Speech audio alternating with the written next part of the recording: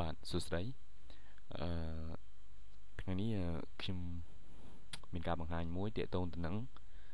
ការបង្កើតគណនីរបស់ Google how to create Google account ទាក់ទងទៅនឹងរបៀបនេះ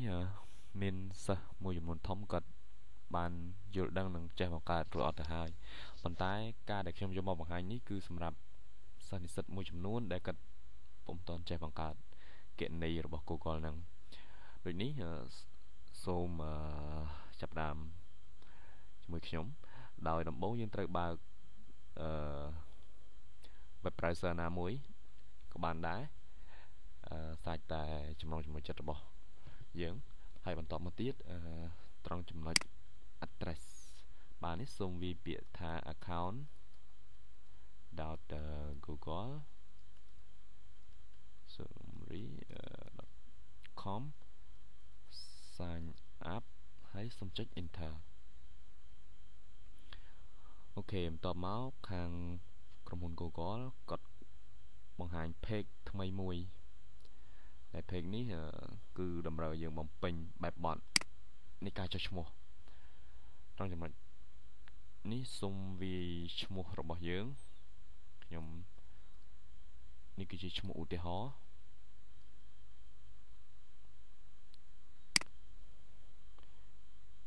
ហើយសូមជ្រើសរើសសូមបំពេញនៅ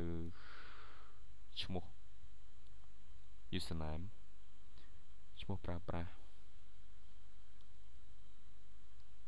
វិរតហើយសូមបំពេញនៅ password password នេះខ្ញុំសូមបញ្ជាក់បន្តិច password នេះដើម្បីឲ្យ មានសុវត្ថិភាពខ្ពស់គឺយើងត្រូវកបីគួរតែមានអក្សរធំអក្សរតូចលេខហើយនឹងនិមិត្តសញ្ញាដើម្បីឲ្យសុវត្ថិភាពគណនីរបស់យើងនឹងអឺមានសុវត្ថិភាពខ្ពស់អូខេខ្ញុំសូមដាក់អឺ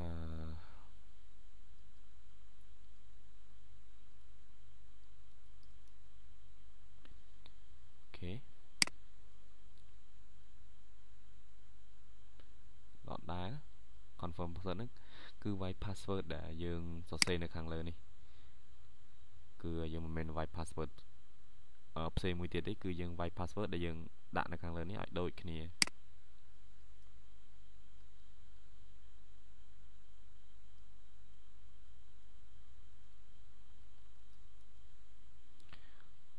អូខេអឺ birthday ថ្ងៃខែឆ្នាំកំណើតរបស់យើងខ្ញុំសូមឧទាហរណ៍ទេបាទ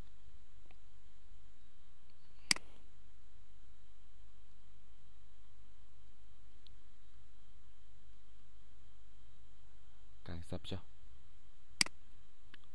អូខេ gender ភេទយើងជាភេទប្រុសឬជាភេទស្រីអីហើយ mobile phone លេខទូរស័ព្ទបើយើងមានលេខទូរស័ព្ទយើងដាក់លេខទូរស័ព្ទយើងមកហើយ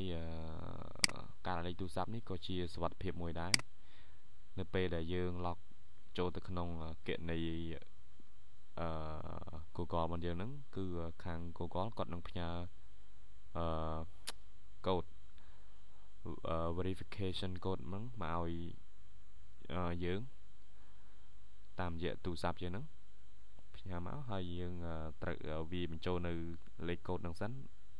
បានយើងអាចចូលទៅកាន់គណនីរបស់យើងបានអញ្ចឹងបើយើងមានលេខទូរស័ព្ទយើងដាក់លេខទូរស័ព្ទយើងដើម្បីសុវត្ថិភាពកាន់តែខ្ពស់មួយកម្រិតថែមទៀតហើយកន្លែង current email address ហ្នឹងយើងមានប្រើប្រាស់ email ណាទេអឺបច្ចុប្បន្នភាពហ្នឹងអឺបើសិនជាយើងអត់ទាន់មាន email ទេយើងអាចដាក់ email អ្នកណាមួយអាចមិត្តភ័ក្ដិយើងអីដែលយើងទុកចិត្ត email ហ្នឹងគឺជា email អាចថាជា email backup នៅពេលយើងភ្លេច password របស់ email ដែលយើងកំពុងតែបង្កើតនេះទៅយើងអាច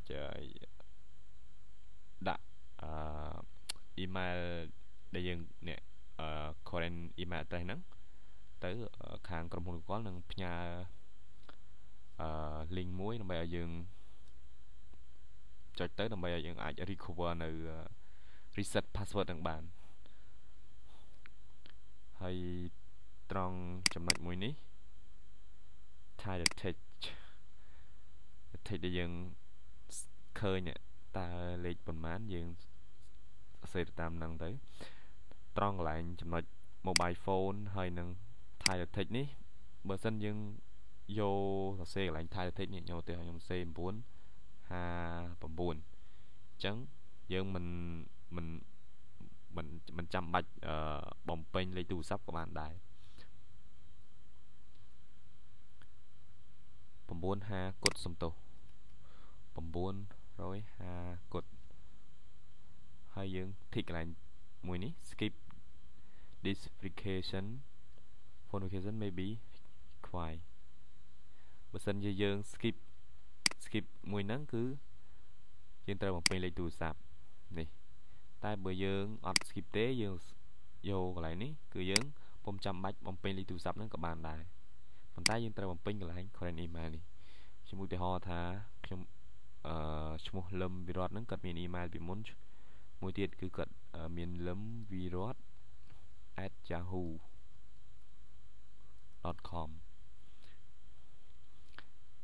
បន្តមកទៀតអឺ select location ហ្នឹងអញ្ចឹងយើងនៅ Cambodia កម្ពុជាហ្នឹងយើងយក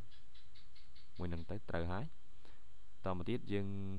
check ទៅលើ I agree the Google Teams service and privacy policy ហើយ យកពាក្យថា next step អញ្ចឹងអឺដោយសារនេះគ្រាន់តែជាការឧទាហរណ៍ឲ្យយើងអឺបំពេញតាមដែលអ្វីដែលខាង Google គាត់តម្រូវយើងបំពេញអញ្ចឹងអឺបន្ទាប់ពីយើងបំពេញរួចហើយសូមចុចទៅលើពាក្យ next step នេះហើយអឺនៅពេលនេះខ្ញុំសូមណែនាំតែត្រឹមប៉ុណ្ណឹងអញ្ចឹងសូមអរគុណនិងសូមជម្រាបលា